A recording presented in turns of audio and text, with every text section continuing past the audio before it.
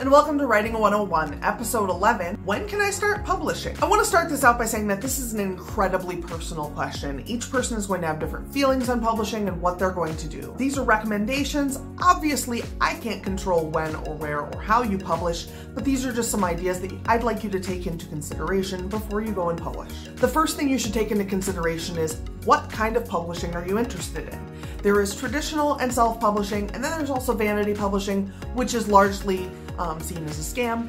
And so keep in mind that those are your options. Um, I'm sure there are hybrid options and there are other options, but those are your basic options. So um, first of all, figuring out roughly where you fall is really useful. If you're interested in hybrid options, that's something that you would really have to look up yourself. I'm not terribly familiar, um, but you should also look up all of these things yourself because I'm not going to be teaching you everything there is to learn about them. The next thing you need to figure out is where you will publish, and this is kind of true of traditional and self-publishing, but in a different way.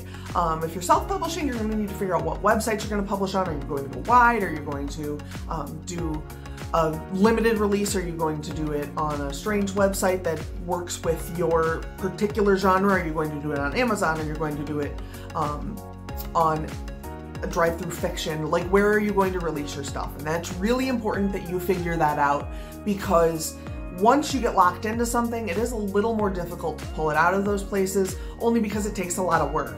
So just keep that in mind when you're making your choice, maybe looking into that more in depth before you start sending things into places and start publishing would be really useful. The next question is, what are you gonna charge? Do you wanna sit down and figure out your hours on the project and figure out how much you'd like to make an hour, how many books you'd like to sell, and then break it down and figure out that your books are gonna be $75 a piece?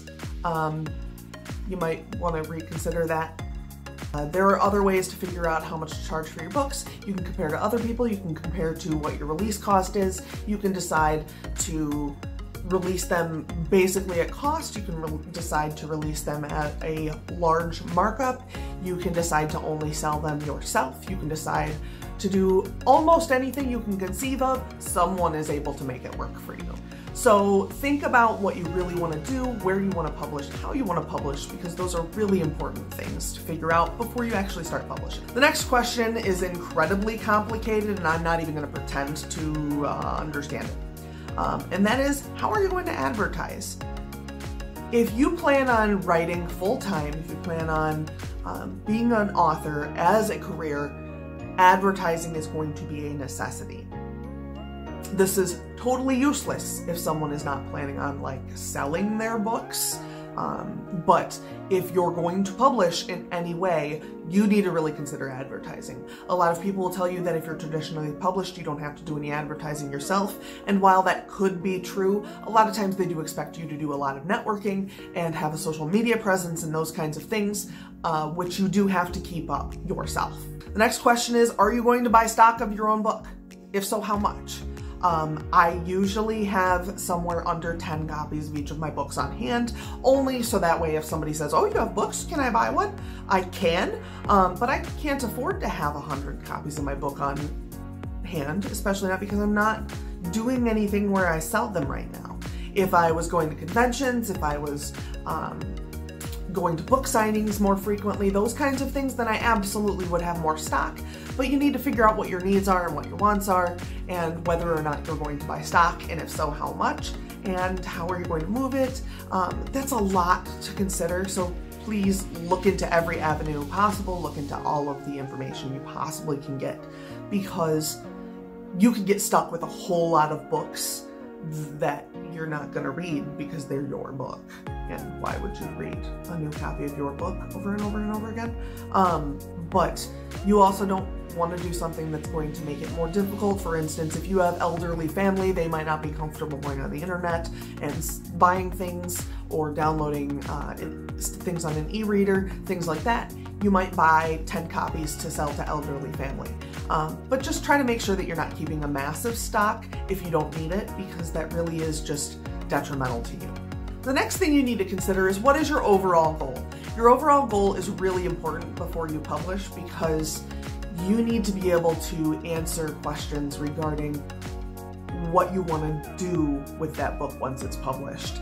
You can do a number of things. You can do nothing with it. You can let it sit there. You can work on advertising. You can do massive overhauls um, to change the book up when you want to. You can do all kinds of things, but you need to decide what you want from your book sales, what you want from publishing, and all those things before you can make any of these decisions. So the next question is to ask yourself, how is the best way to reach this goal? Your best bet is to go research your face off you're going to find 500 answers to the question, how do I reach X goal? What you need to do is go and read several of those and figure out what the median response is, um, which response seemed to work for the most people, which response works with my process, which response works um, with my lifestyle, those kinds of things. And then as soon as you have all that figured out, you can kind of figure out how the best way is to reach the goal that you are trying to reach. So I guess that does it for today. Thank you guys so much for hanging out with me. Don't forget that this series runs every other week. We do have one more episode of this series scheduled. If you have any ideas for additional episodes, please leave them down below. I'm not entirely sure what I'm going to do after this um, chunk of them is done, so if you have an idea for another series you'd like to see, or if you have more ideas for this series, uh, just let me know and we will definitely do some more um, videos. So don't forget that every other week, the opposite week of this series, I do have the AuthorTube NewTubers videos. Those videos are uh, lists of the new AuthorTubers that I was able to find so that you can go and subscribe to them and meet new writers. My Wednesday night videos typically post about 6.15 p.m. Central Time, and at 8 p.m. Central Time on the NewTubers Week, I am also over on twitch.tv slash plasticageplays, where I play a drow in a Dungeons & Dragons game that consists entirely of drow. So if you want to go check that out, please go over there and check that out. Down below, I have a Twitter, Tumblr, Instagram, Snapchat, and Patreon. So if you're interested in any of those, please go check those out down below. I will see you guys all later. Have a wonderful week and good writing. Bye.